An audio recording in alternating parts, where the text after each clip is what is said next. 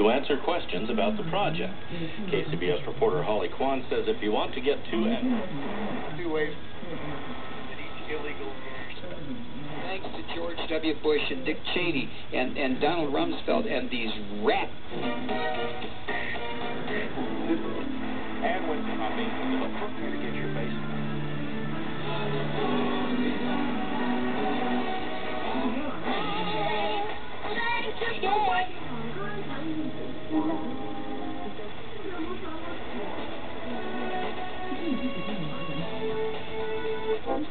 Ruth,